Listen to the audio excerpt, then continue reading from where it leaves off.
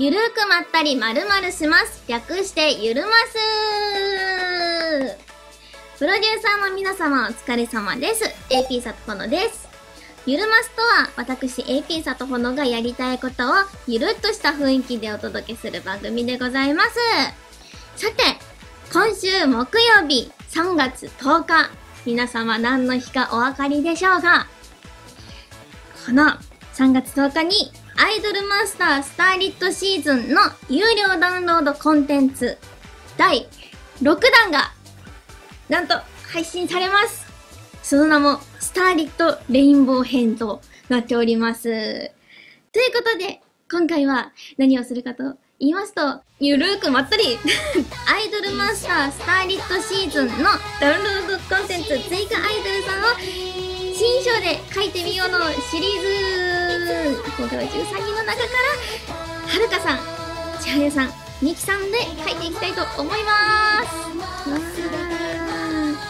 この動画がゆるくていいなと思っていただけましたら高評価とチャンネル登録よろしくお願いいたします。それでは書いていきます。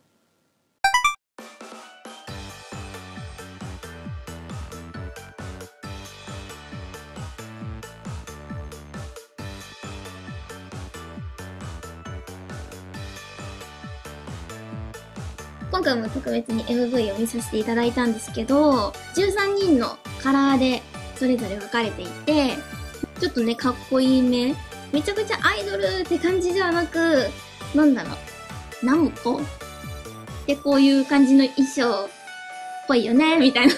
他のブランドとかと比較して、まあこういう衣装が似合うよねっていう印象がありました。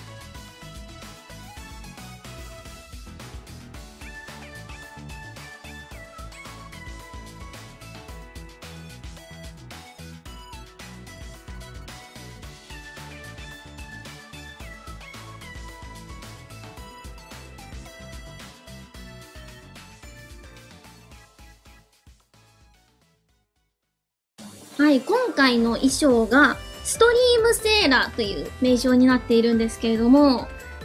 セーラーってなりました。なんかこう、襟が普通についてて、まあ確かにこ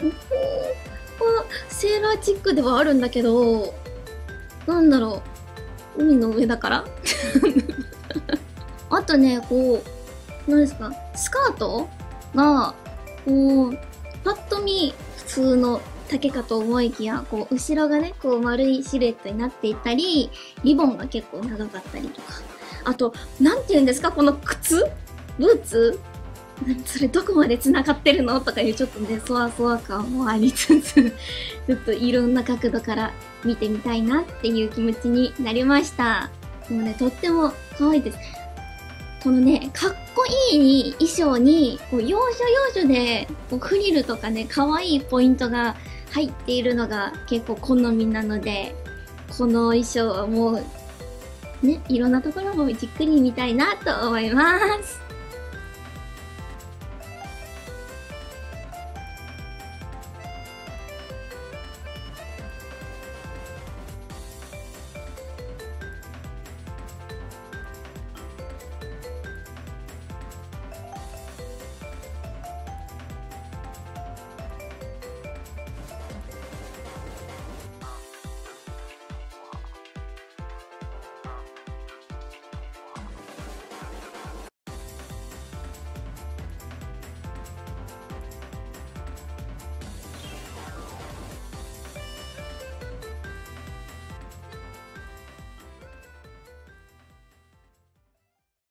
では、久しぶりにお便りを本編中に読んでみたいと思います。虹色ギターさんからいただきました。ありがとうございます。いつも楽しく拝見しております。サトホのプレイリストも良かったので、一曲ずつ感想を語る配信も見てみたいです。といただいております。このプレイリストは、一体どのプレイリストでしょうか？そちらもね、ぜひ教えていただければと思うんですけれども、まあ過去にね、こう何回かプレイリストの動画でプレイリストを作ってあげさせていただいたり、あとシンデレラの10周年のゆるマスの企画で動画の中で外ほのプレイリストを作ってみたりとかあったんですけど、まあ、プレイリストを作るときのこう構成といいますか、こう、どうやって考えてるのかなっていうところのお話なんですけど、まず、一曲、まあ、例えばテーマに沿った曲をビビッと、パッと思いつく曲を思い浮かべます？ん？同じこと言った？今。まず一曲、ビビッとくる楽曲を思い浮かべます。きっとその曲は好きだから一番に私の頭の中に飛んできたと思うので、そこから曲の雰囲気とか、あとは、もうプレイリストなので、どういう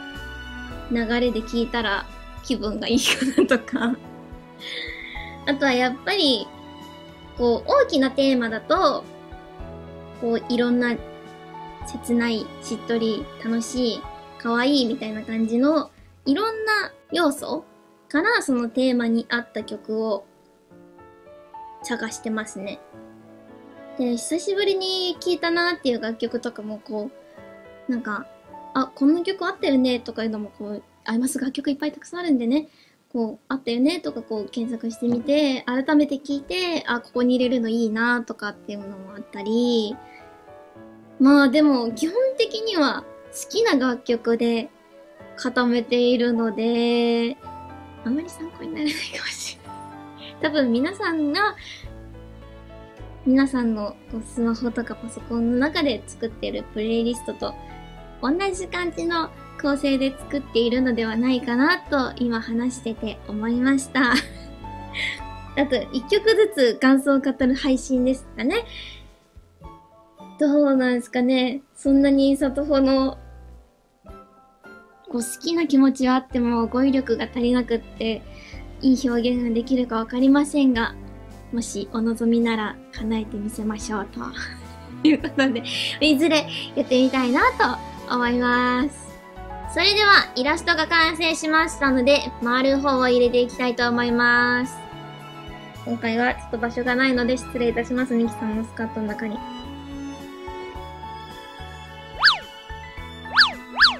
にしようかな。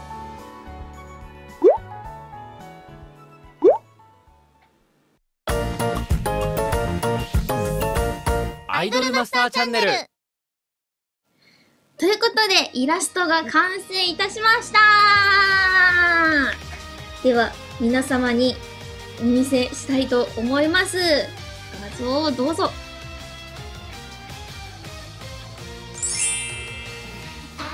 はい、こんな感じに仕上がりました。まあ、衣装はいくつかもう書かせていただいて、毎度のことながら、もう、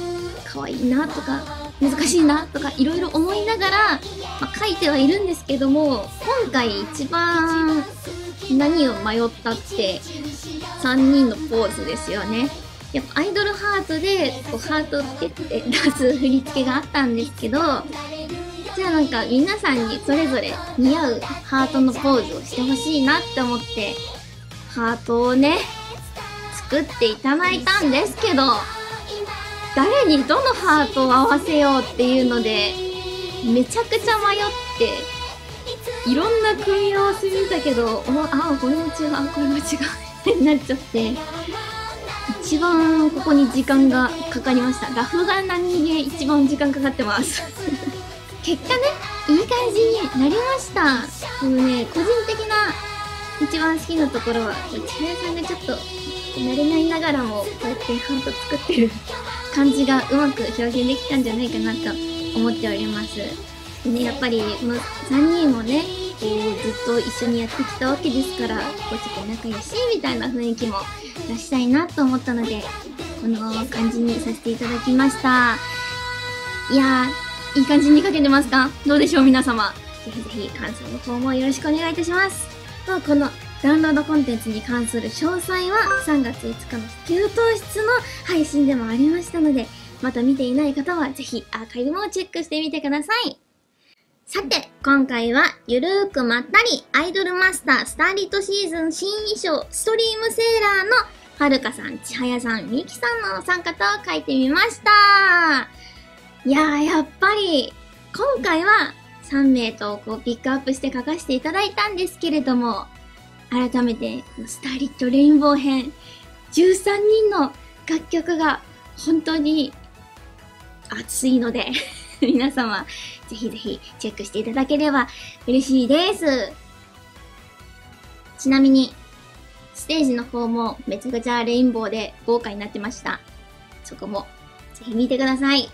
さて、ゆるますでは、私 AP さとほのに、こんなの作ってほしい、書いてほしい、こんなことやってほしい、などなど、ゆるーくやってほしいことを募集中でございます。概要欄にある常設のメッセージフォームのリンクからどうぞ送ってください。もちろん私へのメッセージや動画の感想なども受け付けておりますので、ぜひよろしくお願いいたします。では、今回の動画も緩くて良かったよと思っていただけましたら、ぜひ高評価とチャンネル登録よろしくお願いいたします。それではまた次回のゆるましでお会いいたしましょう。本日もお疲れ様でした。わー。